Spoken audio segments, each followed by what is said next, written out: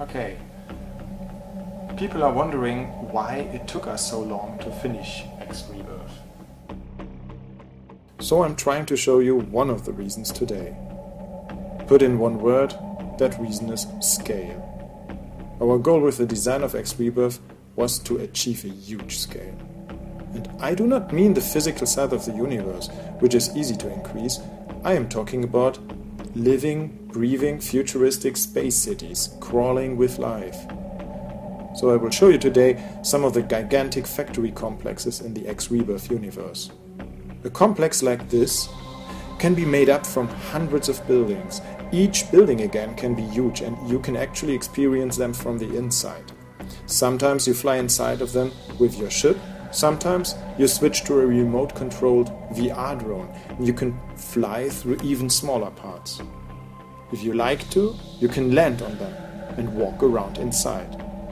Sometimes you can even crawl inside little repair corridors.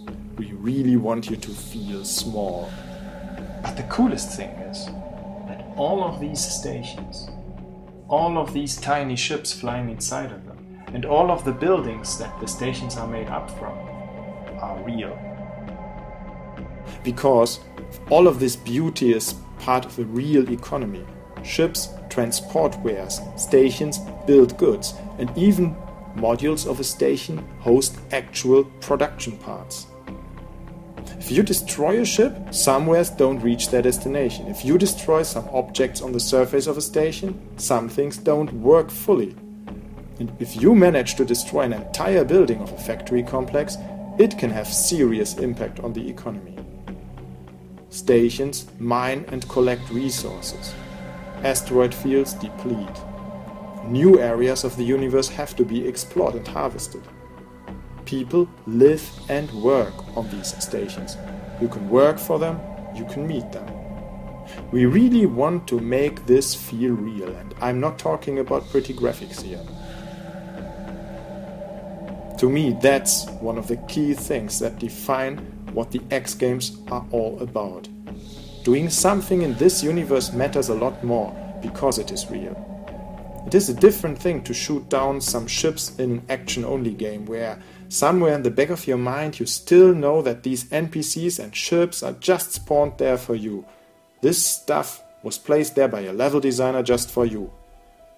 But if these ships and people are actually playing a role in a larger universe, a universe that lives and breathes and it even runs far away from where you are looking at it, then it matters to you much more.